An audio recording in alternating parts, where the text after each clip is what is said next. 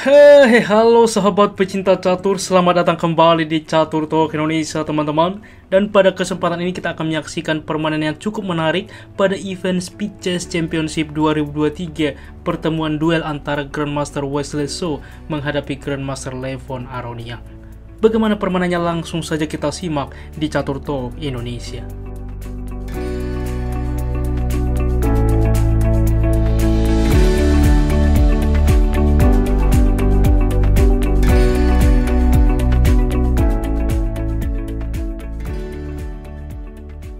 Baiklah teman-teman, pada kesempatan ini Wesley So membuka permainan seperti hal tidak biasa teman-teman, yaitu E3. Pion ke E3 dinamakan dengan Van Kreutz opening.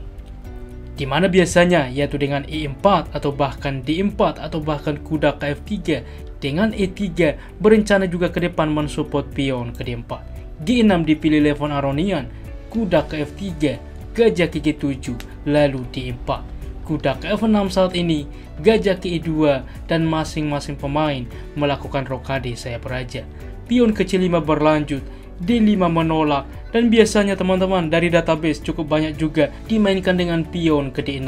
Tetapi pada kesempatan ini tentunya format speed chess dimainkan dengan kuda keempat mencoba bermain agresif ke depan dari Levon Aronian sehingga ini langkah no penalty teman-teman setelah langkah keenam ini. Wesley merespon dengan gajah ke D3, langsung juga mengancam kuda. Kuda ke D6, mensupport pion ke depan mengancam gajah. Kuda ke A3 mencegah hal tersebut terjadi. A6 saat ini lagi-lagi mensupport pion ke B5, lalu juga ke depan menekan gajah. I4 langsung dipilih, maka B5 fokus rencana, dan E5 mengusir kuda teman-teman. Di sini Levon Aronian lagi-lagi ia tidak memundurkan menarik mundur kuda, tetapi justru B4 kembali mengancam kuda putih. Permainan cukup agresif, dan tantangan ini pun diterima oleh Wesley So. Ia pion memukul kuda, tentunya juga hitam pion memukul kuda, lalu benteng ke B1 pion memukul pion saat ini, dan B3. Langkah B3 bahwa membuka gajah mengancam pion ini, dan pion ini tidak bisa diselamatkan, juga ke depan untuk mensupport pion ke C4, sehingga struktur pion cukup baik teman-teman, dan A5 juga langsung dari Levon Aronian. Mungkin beberapa dari Anda bertanya, tetapi ada menteri ke A5 bang mensupport pion. Masalahnya C4 akan tetap terjadi, di mana idenya menteri ini ke depan cukup sulit berkembang karena hanya untuk melindungi pion, sedangkan perwira yang lain juga masih stuck di tempat. Semisal gajah ke B7, maka kuda ke G5. Kita lihat bagaimana aktifnya perwira dari putih.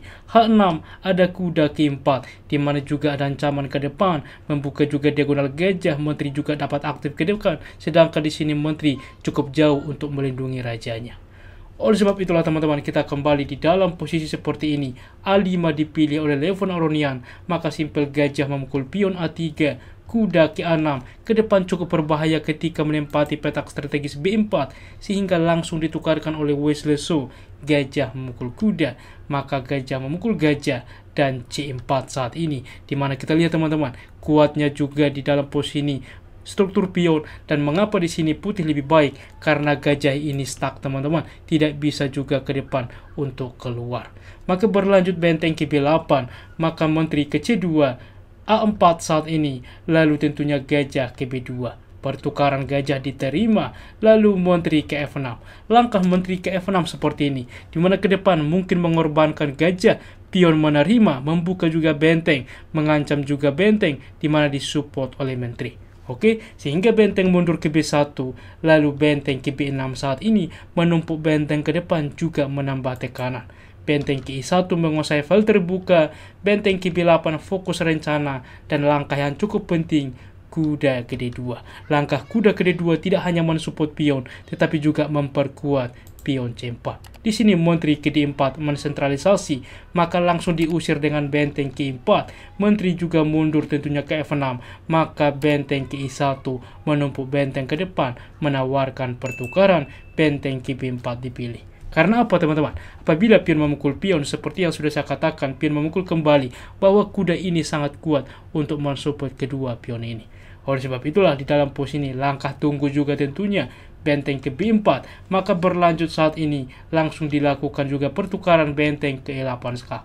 Tentu benteng memukul benteng, pertukaran kembali melakukan skak, raja ke G7, lalu benteng kembali ke E1. Kita lihat teman-teman, bagaimana di sini keunggulan bagi putih. Gajah lagi-lagi tidak bisa mengaktifkan diri. Benteng juga langsung ke B6. G3 saat ini membuka ruang bagi raja, mencegah juga di masa depan ada skakmat di baris ke-1. Maka menteri ke D4 berlanjut dengan raja ke G2 Menteri ke F6 saat ini. Karena apa? Tidak lagi langkah signifikan yang bisa dilakukan oleh Levon Aronian, maka benteng ke E3 saat ini. Lagi-lagi, di sini gajah tidak bisa juga mengaktifkan diri karena semuanya ditutup akses oleh putih. Dan berlanjut permainan Levon Aronian benteng ke B8, maka kuda ke-4 mengancam Menteri teman-teman. Kita lihat apabila berpindah ke depan, ke file E ada discover juga dari benteng, sehingga menteri ke D4 dipilih, maka kuda simpel memukul pion saat ini. Benteng ke B6 berlanjut benteng ke 4 terlebih dahulu mengancam menteri teman-teman tidak langsung memindahkan kuda tetapi mengancam menteri terlebih dahulu. Setelah menteri ke A1 maka kuda ke E8 skak raja tentunya ke F8 di sinilah posisi yang juga cukup penting teman-teman. Langkah kunci yang ditemukan oleh Wesley So menteri ke D2 dan ini sangat penting teman-teman Mengapa ini sangat penting? Kita akan melihat ke depan benteng K8 dipilih saat ini. Karena apa pun opsinya idenya seperti ini. Semisal langkah lain di 6 misalkan, masalahnya menteri akan K6 skak teman-teman. Raja K8 tentunya apabila ditutup dimakan saja simple. Kita lihat langkah kuda ini. Raja berpindah, maka di sini kuda ke F6 skak mengorbankan diri teman-teman. Menteri menerima, maka membawa benteng ke 8 skak dan ini pun skakmat. Oke teman-teman, dan di dalam posisi seperti ini, dipilih tentunya benteng mundur ke belakang. Maka coba teman-teman, Anda post beli ini, apa langkah brilian yang ditemukan oleh Wesley So yang membuat juga Levon Aronian menyerah di dalam posisi seperti ini.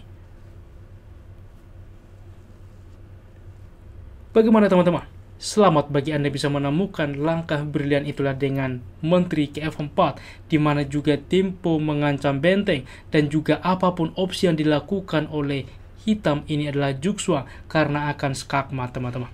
Dan tentunya setelah juga dimainkan langkah ke-36 Wesley Menteri ke F4, di sini juga Levon Aronian menyerah.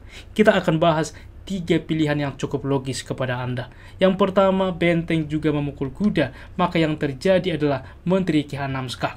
Oke, dan di dalam posisi apabila tentunya raja berpindah, maka benteng memukul benteng akan langsung skakmat. Menteri menutup, maka benteng memukul benteng skak, tentu menteri akan tumbang teman-teman. Sangat unggul tentunya bagi putih. Dan dua pilihan yang kedua teman-teman. Benteng ke 8 misalkan, maka ada kuda ke C7, memforking juga benteng dan gajah Benteng KA7 juga tetap mensupport gajah, maka Menteri KA6 skak bisa teman-teman. Menteri menutup, maka tetap benteng KI8 yang disupport oleh kuda, dan ini pun skakmat. Pilihan yang terakhir yang cukup logis, bagaimana jika saat ini benteng ke-8 mencegah juga kuda, maka kuda akan ke D6 saat ini, ancaman terhadap benteng ancaman skakmat. Menteri ke-7 mensupport pion, maka kuda simpel juga memukul benteng, dan ini pun ancaman skakmat. Karena apa? Gajah menerima, ada tentunya menteri ke D6 skak. Raja tentunya berpindah ke G8, membawa benteng ke 8 skak. Satu-satunya menteri menutup, menteri memukul menteri adalah skakmat. Luar biasa teman-teman, bagaimana kombinasi yang dimainkan oleh Wesley So menghadapi Levon Oranian pada Speed Chess Championship 2023. Berikut adalah tingkat akurasinya. Ulasan permainan dari komputer menunjukkan bahwa tingkat akurasi dari Grandmaster Wesley So 95,5% dan Levon Aronian 82,6%. Demikianlah ulasan catur hari ini. Jika kalian suka dengan konten catur seperti ini, dukung kami dengan cara like, subscribe, dan juga share yang membuat kami semakin bersemangat lagi di dalam mengupdate konten catur menarik lainnya. Apabila ada saran ke depan juga request, jangan ragu tuliskan di kolom komentar dan kami akan berusaha membuat requestan dari Anda. Salam catur talk Indonesia, sampai jumpa di berikutnya. Keep sharing and keep loving. Bye bye.